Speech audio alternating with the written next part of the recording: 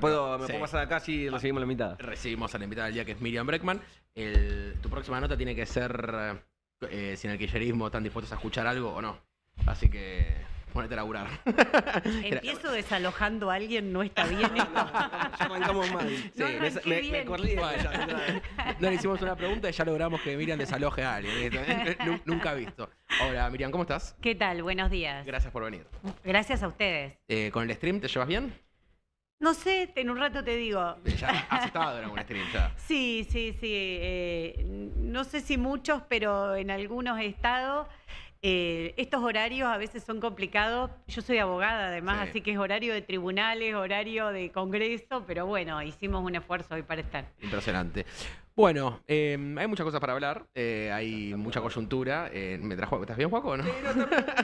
Demasiada coyuntura, ¿no? Sí, demasiado. Eh, temas ineludibles, como por ejemplo la denuncia de Alberto, ¿no? Con, eh, Sí. Contra Alberto Perdón de Fabiola Yáñez. Sí. Eh, vos recién dijiste que sos abogada. eh, Sí. hay, hay un debate acá, obviamente, que se da mucho, que es eh, esto muy contundente, ¿no? Las imágenes, los chats, es como todo pareciera ser muy, muy, Sí. muy fuerte. eh, pero bueno, Alberto dice, eh, yo tengo mi defensa en la justicia, esto de eh, yo tengo que, o sea, no tengo que probar mi inocencia, sino que tiene que probar mi culpabilidad.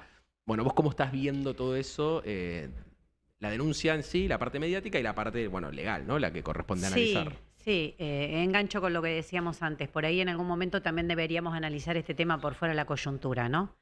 Cómo llegan este tipo de dirigentes a ser presidentes, por qué, por qué todo el mundo descubre ahora quién es Alberto Fernández. Alberto Fernández solo es esta denuncia. O, es un tipo de personaje de los que vienen gobernando hace mucho tiempo con determinadas características. Me parece que también habría que analizarlo un poco por fuera. Pero yendo a lo que vos decías, Mirá, es un tema que creo que golpea como en la línea de flotación de lo que ha sido la última etapa de Unión por la Patria, Frente de Todos, los distintos nombres que ha ido adquiriendo. E incluso los cambios de nombre tienen que ver con que necesitan siempre olvidar el gobierno anterior y volver a ser otro. Han cambiado de nombre tres veces en el último tiempo. Y creo que pega la línea de flotación, como te decía, porque es un gobierno que hizo del discurso feminista mucha utilización. Un gobierno que llegó diciendo no solo que iban a llenar la heladera, que volvía el asadito, volvimos mejores, sino también volvimos mujeres. Eh, hacían el chiste de cantarle Alberta presidenta, creó el Ministerio de Mujeres, y a quienes criticábamos esa utilización, institu- institucionalización, era Callate Trosca. Callate Trosco, estamos gobernando, era hit en la red, todo el mundo se olvida. Estaban gobernando, sí, estaban gobernando. Estaba gobernando Alberto Fernández en una fórmula que llegó con Cristina Fernández de Kirchner. No es que llegó solito, abandonadito ahí el señor, sino que lo resucitaron le tiraron agua bendita y lo pusieron en el máximo cargo de poder a un personaje que venía siendo cuestionado incluso por ellos mismos, por todo lo que había sido su última etapa. Le decían cómplice de las corporaciones, cómplice de los medios hegemónicos. Y de golpe lo toca la varita mágica, llega ahí. Pero de golpe no, no, era justamente parte del argumento esa, eh, para simplificarlo, Alberto puede hacer que Cristina o que el kirchnerismo se lleve mejor justamente con las corporaciones porque claro. tiene... Sí, exactamente, exactamente. Lo, lo usan como un argumento a su favor, incluso su, su pasado. Y me acuerdo porque con Nicolás del Caño lo discutimos mucho en el Congreso Nacional y me parece que es un ejemplo de lo que fue ese gobierno. A la par de crear el Ministerio de Mujeres, Género y Diversidad, es el gobierno, es el ministerio, perdón, al que le asignan el menor presupuesto de todos. Y ahí tenés la utilización. Porque un ministerio que viene a responder una demanda social muy fuerte contra la violencia de género es puesto en un lugar, se hicieron actos de inauguración, se hacían todo el tiempo eventos para festejar que se consagraba el derecho al aborto, algo que conquistamos después de muchos años de lucha, el gobierno se apropiaba de eso, pero a la par se le asignaba el menor presupuesto de todos. Entonces, me parece que ese shock que estamos viviendo en estos días tiene que ver con eso, tiene Para- que ver para- con para- algo que fue muy central en el discurso de gobierno. ¿Para vos hubo solamente utilización política o rescatás algo de lo que fue la política de género del gobierno anterior? Yo creo que hubo una respuesta, obviamente, a un movimiento muy fuerte que tuvimos en las calles y a medida que se logró sacar de las calles a ese movimiento, se fue perdiendo esa política. Es decir, que la política la veo como respuesta, no la veo realmente, no la veo como acción. De hecho, Cristina Fernández de Kirchner misma había sido una gran opositora al derecho al aborto. Lo veo como reacción, no como una acción positiva, decidida a favor de las mujeres.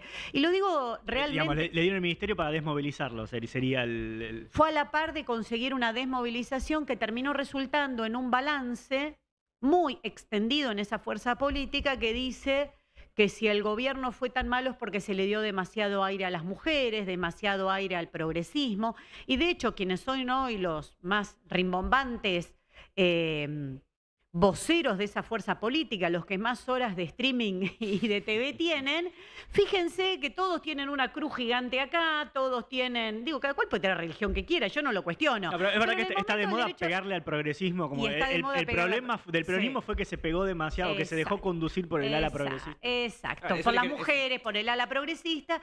Y como digo, esas cruces no se las ponían en aquel momento, se las ponen ahora. Entonces, toda una señal política de decir, si no fue mal, no fue porque no nos animamos a expropiar Vicentín, no nos animamos a garantizar la soberanía alimentaria, no nos animamos contra los fugadores de la deuda, sino que le reconocimos a todos los fondos buitres su deuda, no nos animamos contra el FMI, fue culpa de las mujeres y el progresismo.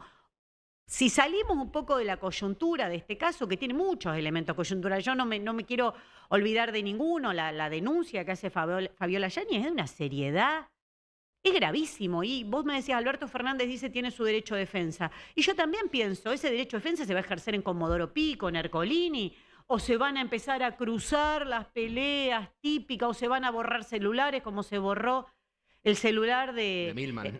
de Milman, de- bueno, lo de Milman ya, perdonen, yo me lo cruzo por el Congreso y no lo puedo creer, que ese señor esté sentado ahí, que no dé explicaciones en la justicia, eh, que se borre el, celular, que era la clave en la denuncia del atentado de Cristina Kirchner. Bueno, esas cosas pasan en Comodoro Pi, digo, no solamente ahora, yo he tenido casos como el asesinato del genocida Febrés en su celda de lujo que le garantizaban para que no hable en el juicio de lesa humanidad que le estábamos llevando adelante, murió por ingesta de cianuro. ¿Dónde está la causa? ¿Ustedes se enteraron que haya algún juicio que investigue eso? No. Y además, ¿saben qué pasó con la computadora? En el tiempo que estaba en custodia la federal se les borró. Ah, se borra seguido el tema de. Es como... Sí, un problema sistemático de borrado. Sí, sí. se borran entonces, celulares, computadoras.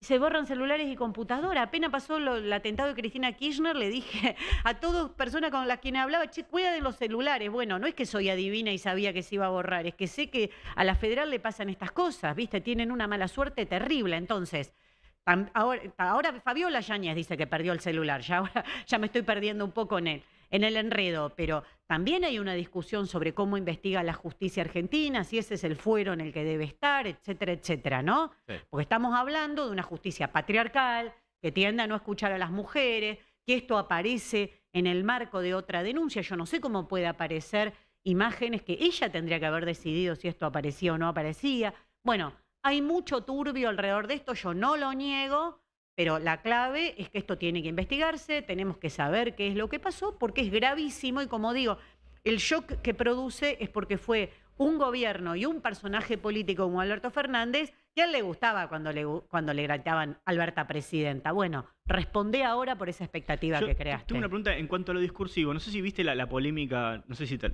tal vez es algo más de redes, pero igual la tomó el presidente, así que creo que trascendió un poco. Eh, viste que Julia Mengolini eh, habló un poco sobre el, el tema de la denuncia y eso, y to- tomó en algún punto el- el- el- uno de los lemas, si se quiere, del feminismo, ese de hermana, yo Sí. te creo. Hizo como alguna. mm, o sea, ah, Relativización, sí, ¿no? una televisión dijo, yo creo que tal, tal vez porque es abogada, dijo, bueno, obviamente, hermana, yo te creo, quiere decir yo te escucho, pero tampoco es que todo lo que decís es automáticamente verdad.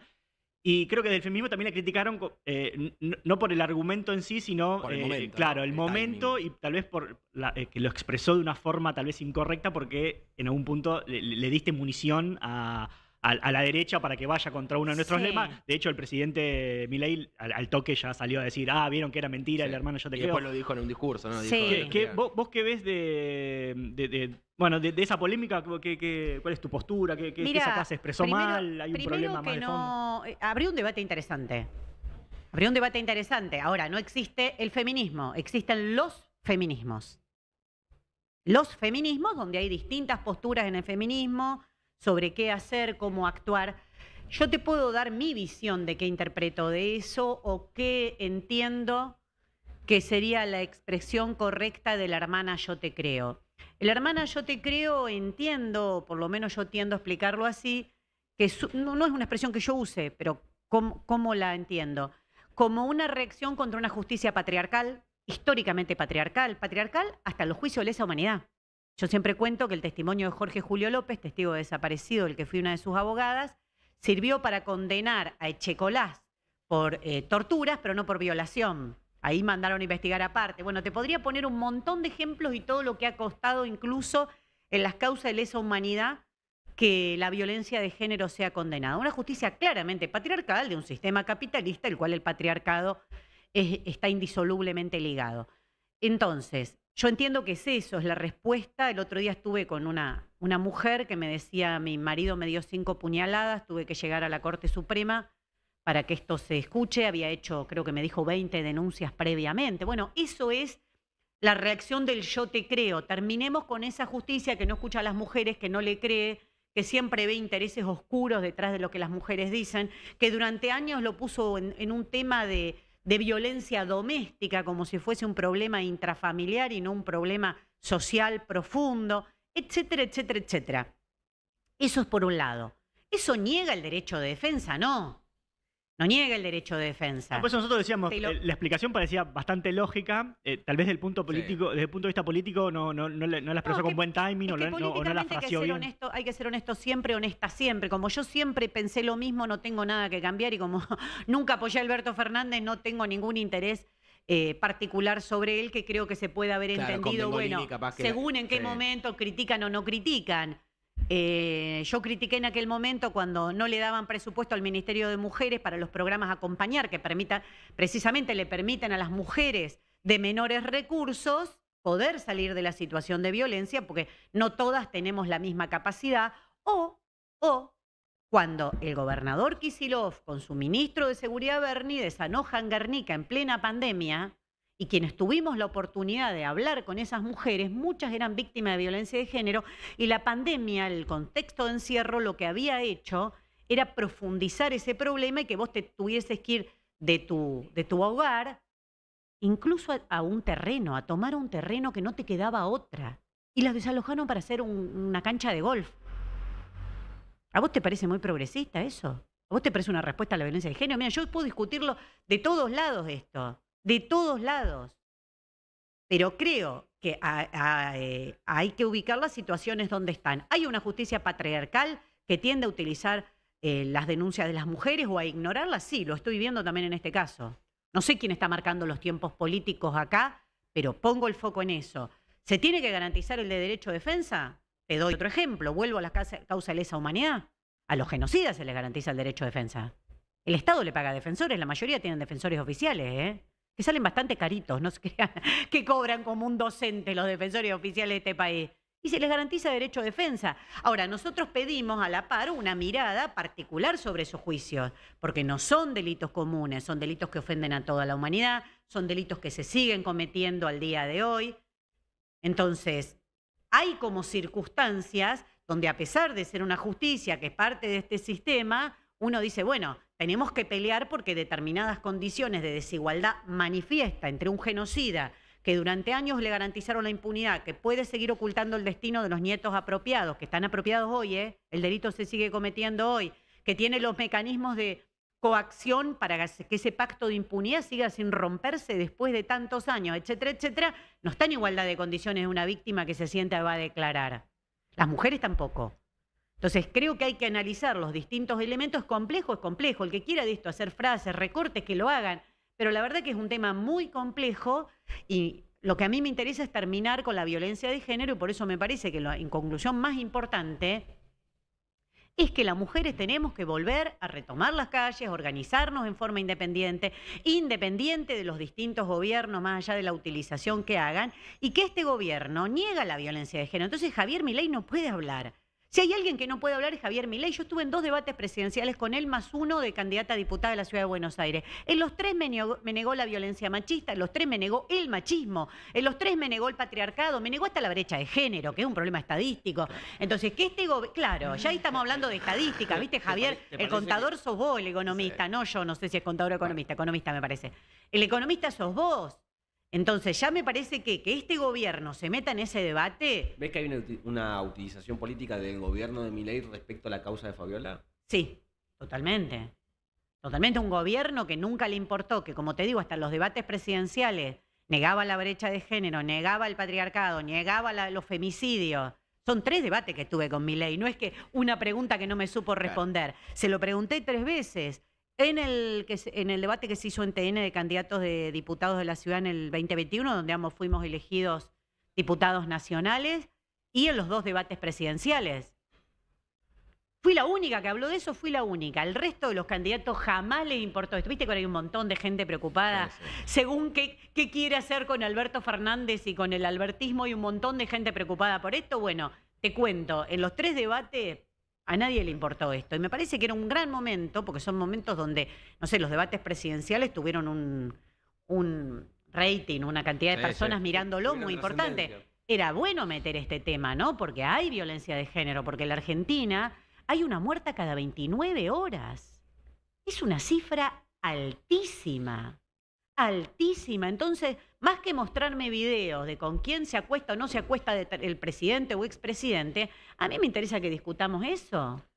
Te quiero hacer una pregunta ahora que, sobre este tema y después nos metemos un poquito más en. Porque hay- hay- hay- están llegando que, que te pregunten muchas cosas. Pero eh, acá nosotros con esto estamos hablando mucho del relato que está construyendo el gobierno. Digo, todos los gobiernos tuvieron su relato, el kirchnerismo tuvo el suyo. Uf. Eh, por eso.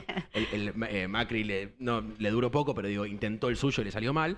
Y ahora Milei pareciera que con todo esto eh, ir en contra de los feminismos, del progresismo, de los de, género, eh, y bueno, y el económico también, pero sobre todo esta batalla cultural, eh, por lo menos yo creo que lamentablemente la está ganando, ¿no? En este momento está ganando por goleada.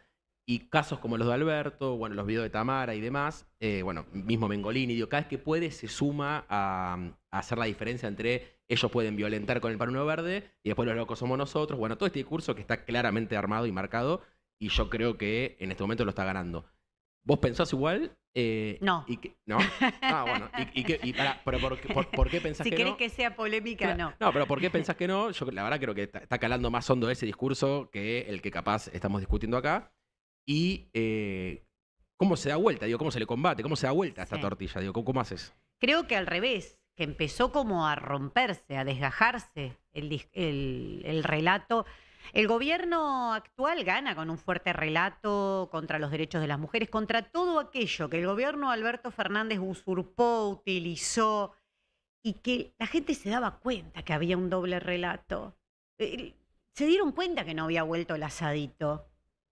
Entonces, eh, el gobierno, y eh, pues creo que es uno de los grandes motivos por los que gana Javier Milei, porque dice, bueno, basta la casta, nos gobernaron todos esto, el candidato al que enfrentaba era el, el ministro de Economía del gobierno de Alberto, decía que esta gente nos va a sacar del pozo. Bueno, gana construyendo un discurso muy violento, atacando todo eso, de un gobierno que se había tratado de identificar con esos valores progresistas, más allá que la realidad vos veías pobreza, la realidad vos veías que no llegabas a fin de mes, que la inflación te comía el salario, había mucho relato sobre todo esto. Eh, Javier Milei gana con eso.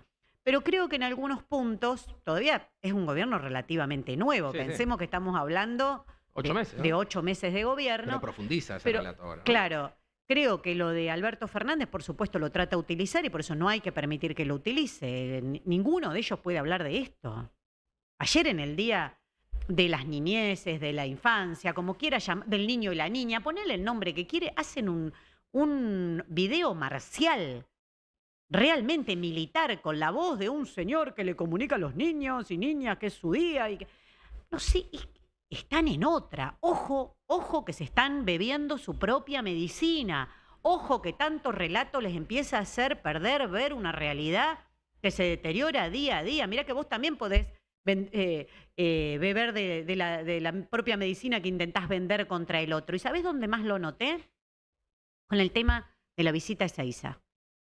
Para mí estaban convencidos y convencidas que iban a ser héroes de la patria. Que iba a salir Villarruel a bancarlos y decir, ahí están mis pollos, hace años que los vengo entrenando para esto.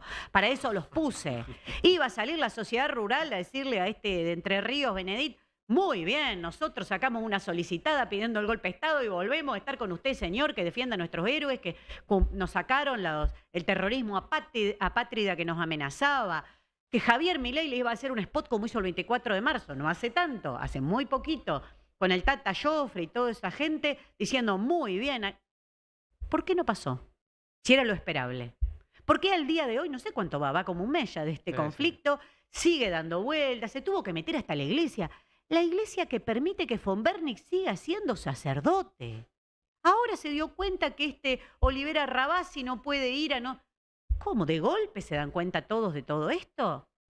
O sea, para vos le salió mal eso. O sea, fue algo. Le que- salió pésima. Le salió pésima porque es lo mismo cuando Macri empezó con el curro de los derechos humanos, ¿se acuerdan? Otro Sí, relato para otro no relato. saltearnos a Macri Sí, porque por eso. dediquémosle una parte al ingeniero. Cada uno tiene su relato y, Sí. su- y que forman la identidad del gobierno, en definitiva. o sea, Exacto, porque como no te pueden ofrecer otra cosa, no te pueden ofrecer buenos salarios, no te pueden ofrecer que te compres una casa, ahora ya ni una motito, entonces te ofrecen relatos. Sí, si querés vamos a eso, porque tanto relato y tan poca realidad. Pero el relato pasa a ser como el lugar central donde unos se oponen a otros y a todos les conviene esa batalla. te, Yo te- lo, te llevan a esa discusión. yo lo vi en la campaña electoral, viste vos desde la izquierda planteando los problemas reales que veíamos, que recorríamos con Nicolás del Caño del País, veíamos lo que pasaba, veíamos Jujuy con Alejandro Vilca, veíamos que se venía el Rigi. No era muy difícil darse cuenta porque ya lo estaba haciendo Gerardo Morales en comunidad con el peronismo en Jujuy. Y vos decías, ¿y por qué no se habla de esto? Y bueno, porque el terreno cómodo de relato contra relato le sirve a los dos que van a seguir cumpliendo el programa del Fondo Monetario, por ende no va a dejar un peso, mucho menos un dólar en nuestro país para salarios, para jubilaciones. Pero me parece que cuando Macri intenta, con el curro de los derechos humanos, dar esa batalla cultural, la propia Corte Suprema se lo cree y saca el fallo dos por uno. No es que engañan a cualquiera, ¿eh? La Corte Suprema cree que llegó el momento de cambiar su propia jurisprudencia y decir, bueno, se terminó. Dos por uno, todo el mundo a la casa. Y le erraron. Y yo creo que ahora le volvieron a pifiar. Le volvieron a errar de nuevo con esto. Perdón, tengo una pregunta técnica. Eh, porque parte de los diputados encuadraron la visita como visita humanitaria, porque lo que decían es, ah, son detenidos que por su edad deberían tener el beneficio de la prisión, prisión domiciliaria y no se les está... eh, Argumentos post-mortem. Después de que saltó el escándalo, dijeron claro, eso. no, no se les está dando el- este beneficio. Sí. Eh, legalmente, técnicamente, nunca me quedó claro, ¿por qué es que a, a estos delitos, es lo que decías eh, vos antes, porque son Sí. delitos que continúan, por eso es que no se les da ese beneficio? Exactamente. La verdad es que lo que pasa es lo contrario. La mayoría están libres, la mayoría está en su casa, algunos piden permiso para ir al bautismo de su nieto, otros tienen permiso para practicar deportes, otros genocidas tienen permiso para asistir a casamientos. Ahora tenemos en unos días una audiencia eh, con Patricia Walsh, a quien represento en el caso de su padre, Rodolfo Walsh, y también en el de su hermana, que próximamente vamos a ir a, a juicio oral, donde también uno de los genocidas de la ESMA está pidiendo nuevos beneficios. No te creas que son. Contame cuántos presos comunes conocés vos que los dejen salir. a- primero que esté. El 90% está en domiciliaria, no está el 90% de los acusados de delitos comunes en domiciliaria. O sea, ya tienen un privilegio. Luego están en unidades muy especiales. Por ejemplo, Campo de Mayo. No están en una unidad penitenci- penitenciaria común, tienen cancha de tenis. Después de eso les permiten ir a bautismos. A gente que torturó, violó, mató. Y ahora voy a lo más importante, y que sigue cometiendo los delitos del día de hoy. No son ex genocidas, no son ex represores, al día de hoy continúan cometiendo el, el delito de desaparición de personas. Al día de hoy no sabemos qué pasó con el cuerpo de Rodolfo Walsh. Y encima el campo de deportes de la ESMA, donde se supone que lo, que lo quemaron, el famoso asadito del cual hablaban los militares, se lo están por entregar a un club de fútbol para que realice ahí arriba prácticas deportivas. Es muy lindo llevar a tu pibe a jugar al fútbol ahí arriba, ¿no? Bueno, lo está, la justicia federal lo está por hacer, porque también es Comodoro Pi en eso. Pero no son detenidos comunes, presos comunes. Por eso pedimos una perspectiva de lesa humanidad. sobre esas causas. Porque ellos cada día renuevan el pacto de impunidad y no nos dicen dónde están las personas apropiadas hoy. Gente de, de- de mi edad, de la, no- de la edad de ustedes no creo que son más chicos, pero continúa con la identidad cambiada. Entonces, y le dice, perdón, y le dice a sus hijos, mira el abuelito, el abuelito tal vez es el secuestrador. Es grave lo que pasa en nuestro país. No es algo del pasado, es algo del presente. La deuda externa que, es- que esos que están ahí contrajeron, la estamos pagando todos, ¿eh? Son esos dólares que Javier Milei hoy hace cualquier cosa para juntar y para mandar al FMI. Vienen de ahí. Entonces no estamos hablando de hechos del pasado, no estamos hablando de alguien que cometió un crimen, cumple con su condena y en determinadas condiciones vuelve a su casa. No es eso lo que estamos hablando, estamos hablando de una característica muy particular de delitos cometidos desde el Estado y que la impunidad se planeó desde el Estado, porque te cuento que si los juicios se están haciendo ahora, por ejemplo, ¿por qué íbamos a ir recién ahora por el caso de Vicky Walsh que fue en el 76? Caso conocido, porque Rodolfo Walsh escribe de eso en la carta abierta. Imaginen, bueno, los que han estudiado periodismo lo conocen mucho porque son materiales casi Sí, sí. De la historia del periodismo también en nuestro país, ¿no? Y él empieza la carta abierta hablando del allanamiento de la casa en el Tigre, del asesinato, tiene la, la carta al general Rualdes, es decir, ha sido parte incluso de su propia obra antes de que lo secuestren a él, el asesinato de su hija Vicky. ¿Por qué vamos a juicio ahora? Porque hubo impunidad porque estuvo la autoamnistía, primero, porque estuvo la obediencia de vida, el punto final, estuvo eh, el indulto de Menem. Es decir, ellos pelearon por esa impunidad, no dijeron, no, no, no, no queremos impunidad, queremos que nos juzguen. Los está juzgando ahora y a estas edades porque ellos pelearon y gar- se garantizaron su propia impunidad. ¿Por qué le cuesta tanto a la izquierda capitalizar estas banderas electoralmente?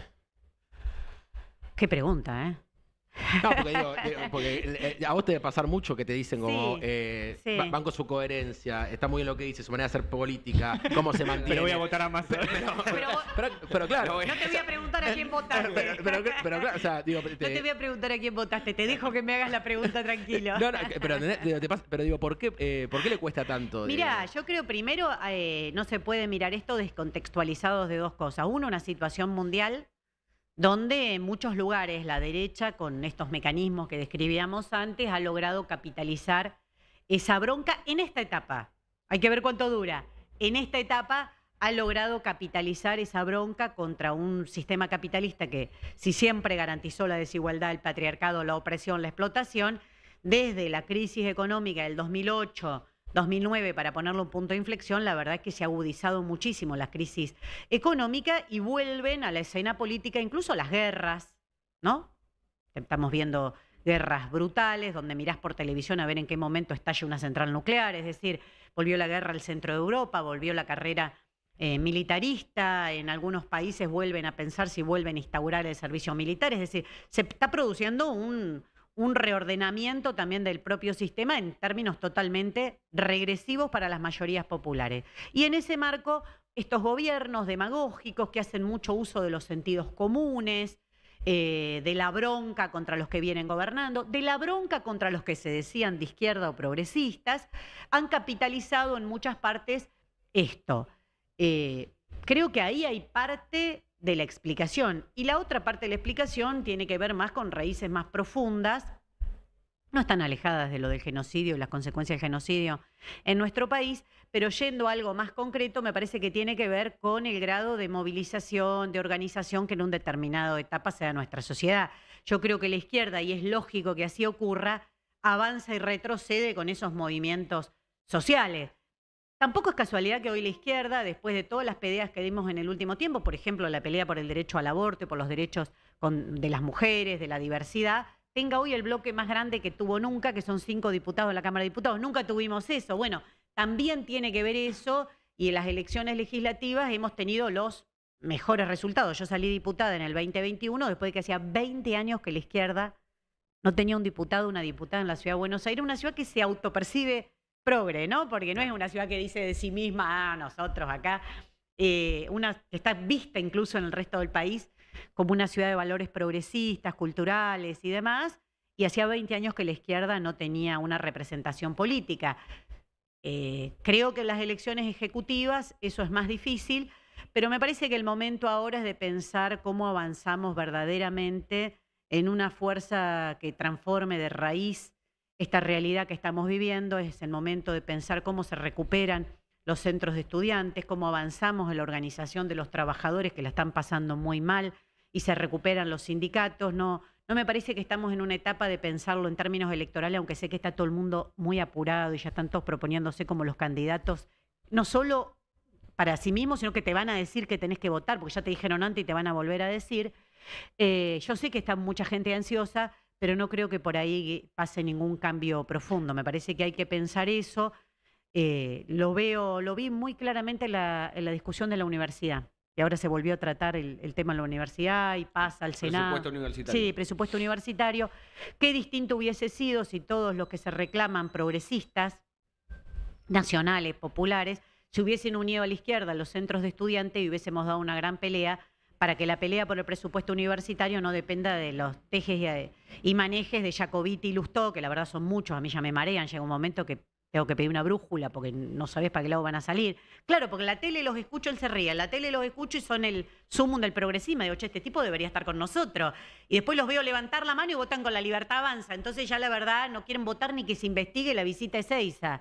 La verdad, la verdad es que eh, no podés pensar esto en términos políticos de votaciones en el Congreso. Mirá, te pongo un ejemplo muy concreto. Qué distinto hubiese sido la discusión del, la discusión del presupuesto universitario que tiene que ser, porque sigue vigente, como digo, no está garantizado, el salario docente universitario, si eh, todos esos que hablan tanto por televisión y se, y se reclaman opositores a la libertad avanza y demás, nos hubiésemos unido en la calle para dar una pelea contra la verdadera conducción de, de la franja morada que va tirando y aflojando según cómo son otros tantos arreglos políticos que van haciendo. Me parece que Perdón. podemos, podemos empezar a pensar algo totalmente distinto y a eso convoco yo a los pibes, a las pibas, para que no caigan nuevamente en, en esa decepción tan grande que producen cosas como la Alberto Fernández. Yo no quiero que nunca más le digan a una piba que se tiene que callar la boca porque le hace juego a la derecha.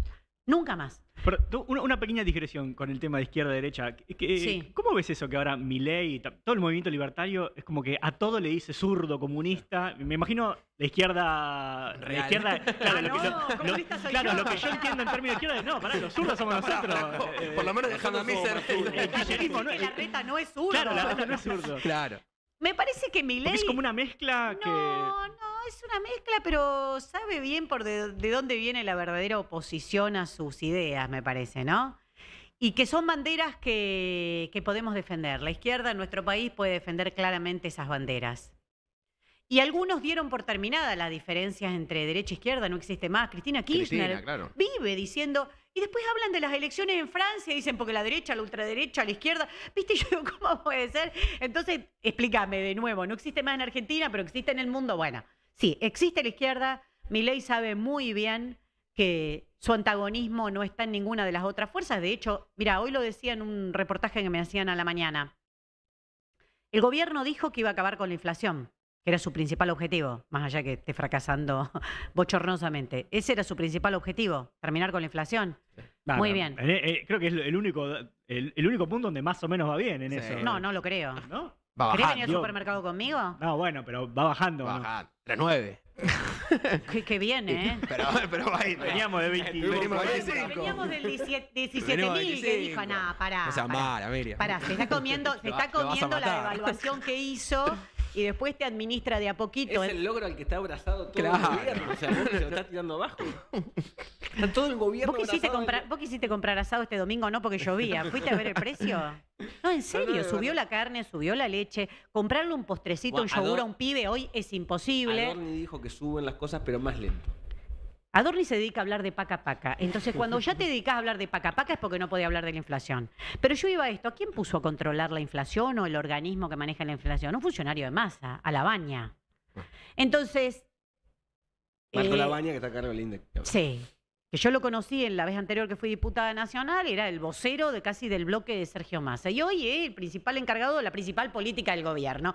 Entonces no me vengas que mi, mi ley El INDEC, sabe. el INDEC no controla la inflación. El, el INDEC mide la inflación. El, el- Sí, así el- la el- mide. el encargado de Así controlar la la inflación es. Caputo, en todo claro, caso. comercio, Claro, economía. Auxilio, No hay, no hay sé. secretario de comercio, digamos, no tan presente Así, ahora. así la mide, por eso mismo. Así la mide.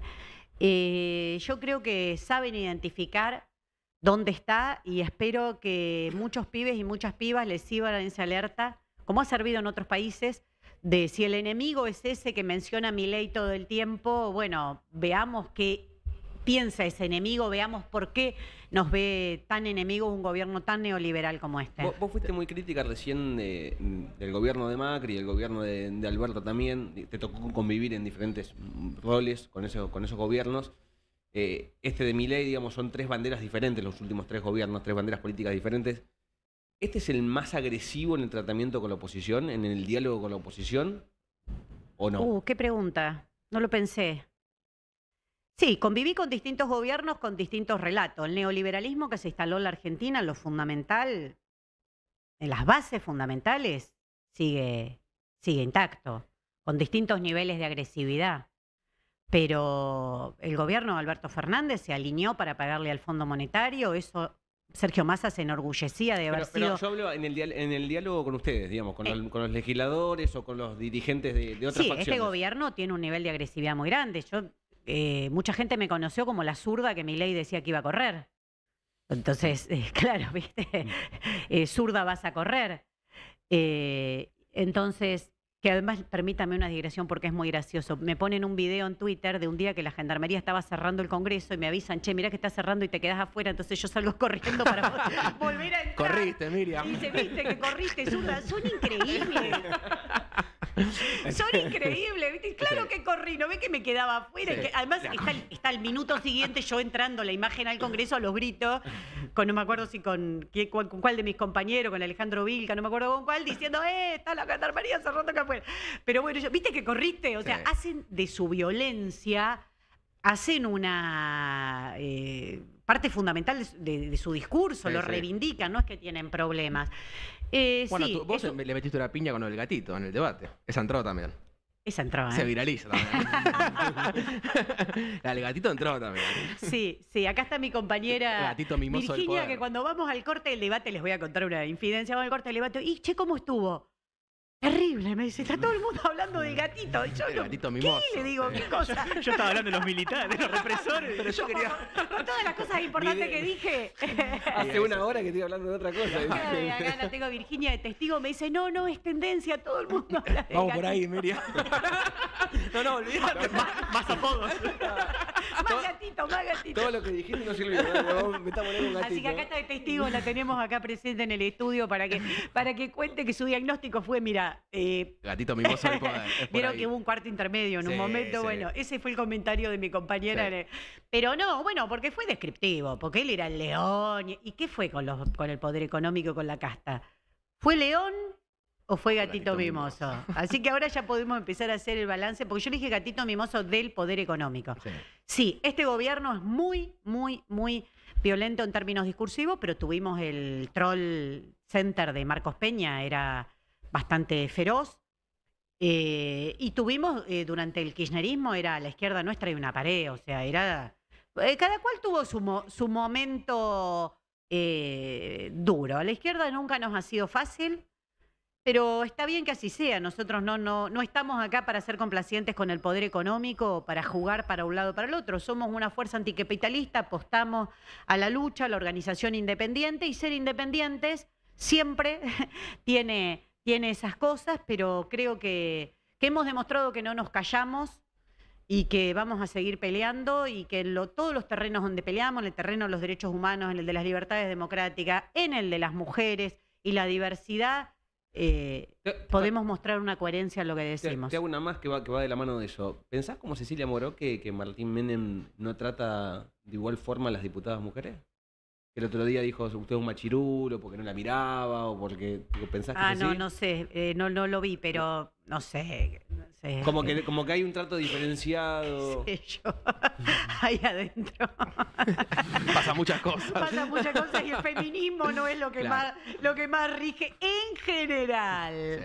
En general el feminismo no es, no es lo que, lo que más lo que más rige. Así que, no sé, no sé, si ¿Cómo? querés después lo veo y te digo, pero Eh, capaz con el, con el kirchnerismo es eh, donde tienen una relación más, sobre todo electoral, ¿no? Más eh, amor-odio. De, de- de su lado le dicen, si ellos eh, a veces militaran más con nosotros, como nosotros tenemos los votos, ellos compartimos algunas banderas.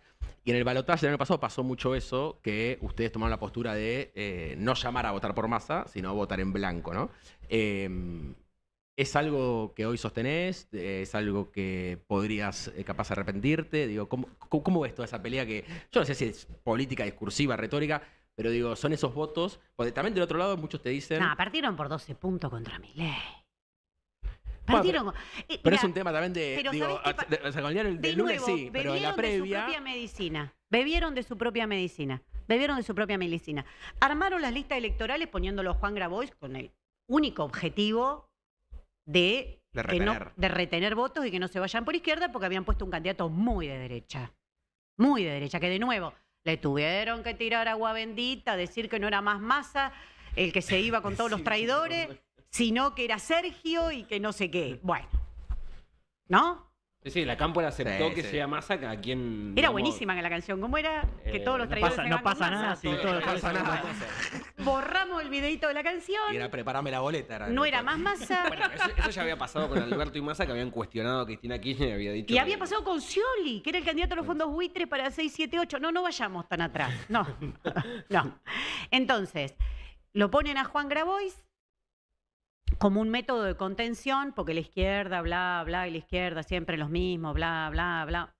Perdieron 12 puntos por derecha, muchachos. Bueno, pero, Bueno, pero nada. pero antes, Miriam, antes. Pero nada, Grabois dijo que se cortaba las manos antes de votar a Massa. Ayer ¿En lo volvió a serio? criticar, Estábamos viendo hoy que lo, lo- lo volvió a criticar, dijo que no era. ¿Cómo era? No era, eh, era indigno de la investidura Sí. presidencial. Pero en serio, a mí esas cosas me parecen, ahora hablando en serio, a mí me parecen graves, porque hay gente muy piola, muy buena, que cree esas cosas y que cree que Sergio Massa es un desastre invotable. Y a los dos días le decís que se puede. Y ahora critican a Galperín, pero ¿por qué no explican por qué sus diputados votaron los beneficios para Galperín? Yo puedo explicar por qué la izquierda no los votó. En serio, en algún punto tenés que dejar de estar cortándole las costillitas a la izquierda y empezar a pensar, ¿no te parece que hace mucho daño todo el tiempo?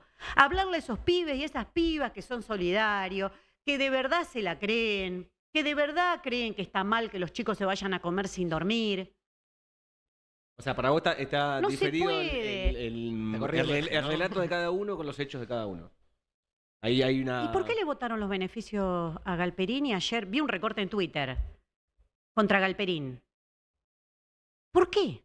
¿Por qué no decís, pero yo le voté los beneficios? Que la, la ley de conocimiento era la ley de. Sí, se votaron varias cosas. En algunas ya había tres diputados, tiene la fuerza de Juan Grabois. Votó todo con el gobierno de Sergio Massa. En la legislatura de la ciudad, todo. En el gobierno nacional, todo, incluido los beneficios para Galperín y, otros, y otras cosas por el estilo para grandes empresarios. Los presupuestos. En lo único que se diferenciaron fue lo del Fondo Monetario. De los tres, dos, porque Itai Herman se estuvo, no votó en contra. Y para que el acuerdo con el fondo llegue al recinto, se necesitaba un dictamen. Y Tai Hackman dejó su silla para que asuma otra diputada y pueda salir el dictamen. Entonces, a mí me parece que está muy bien, pongo a disposición mis costillas, me las cuentan todos los que quieren, pero tratemos de que el discurso se condiga con lo que hacemos, porque si no este círculo vicioso por eso el tuiteo apenas pasó el hecho, dijo, ah, yo voté a Scioli, voté, que no sé si votó a Scioli, pero dice que votó a Scioli. Votó a Scioli, voté a mm, Alberto. Alberto y Massa. seguiría a Massa y seguiría votándolo. ¿No te parece que es el momento de dejar de votar a esta gente?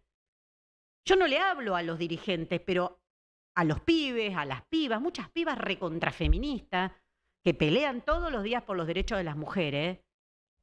No, no quiero más esas decepciones, no quiero más que le digan, bueno, ahora cállate, No digas más esas cosas que decíamos antes de dinosaurio. No, no, no, no, porque si no le hacemos juego a la derecha, ¿no te parece que el juego a la derecha, a la peor derecha, se lo hizo todo ese doble discurso permanente durante años Ahora y vos- que así ganó Milei? Porque, perdón, Sí. Milei es la derecha recargada. Porque con eso ya había ganado Macri. Gana Macri, me dijiste que se terminaba. Hiciste un gobierno desastroso, le votaste los beneficios a Galperín criticando a Galperín. Le votaste los presupuestos a Massa criticando a Massa. Dejaste la silla vacía para que se apruebe el acuerdo con el fondo criticando al fondo. ¿No te parece que así gana la derecha? Bueno, yo no quiero que gane más esta derecha que está haciendo que haya un millón de pibes que se vayan a la cama sin cenar. Quiero que haya una fuerza que de verdad sea anticapitalista, que rompa con el Fondo Monetario, que niegue esa deuda con el fondo, que es ilegal, no solo es ilegítima, es totalmente ilegal. Muchos que de los de ellos lo decían antes de las elecciones. Después se callan. ¿Cómo? ¿Qué hubiese pasado si todos esos salían a la calle con la izquierda cuando se discutió el acuerdo con el fondo? ¿Qué pasaba? Miren que en Kenia, muchos países tuvieron que volver atrás, eh, y esto no es noticia vieja, es de los últimos meses porque eh, entran en crisis los pueblos que aplican los programas del fondo. ¿Por qué si todos los programas del FMI, todos los experimentos neoliberales, ter- neoliberales terminaron mal, por qué este va a terminar bien y le siguen dando tiempo a mi ley? Si le están dando tiempo a mi ley. Si el balance que hacen es que fue el progresismo el culpable de todo, que fueron las mujeres que reclamaron muchos derechos. El FMI no lo nombra nadie. Y encima ahora te la están reivindicando a Victoria Villarruel. ¿Qué más quieren? ¿Traernos al conde Drácula en las próximas elecciones? O sea, serían Scioli, Alberto, Massa, Drácula. Bueno, yo creo que eso le hace mucho daño y mucho juego a la derecha. Entonces, agarrársela con la izquierda todo el tiempo, porque insiste que hay que hacer una fuerza anticapitalista, porque insiste que hay que hacer una fuerza que tenga coherencia entre los hechos y los dichos, y porque insiste en que la clave está en la organización, que nos dotemos para pelear contra eso, cómo recuperemos los sindicatos. ¿Dónde está la CGT? ¿Cómo puede ser que se votó la ley base estaban en Ginebra? Ginebra debe ser divino, como dice Carrió.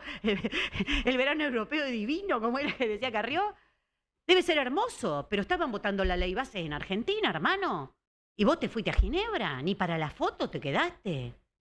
Y los que se quedaron marcharon un ratito y se fueron. Entonces, me parece que acá está buenísimo estar tirando la pelota a todos lados, después te ponen un monstruo y te dicen, votalo o no votalo. Yo quiero nunca más tener esa disyuntiva.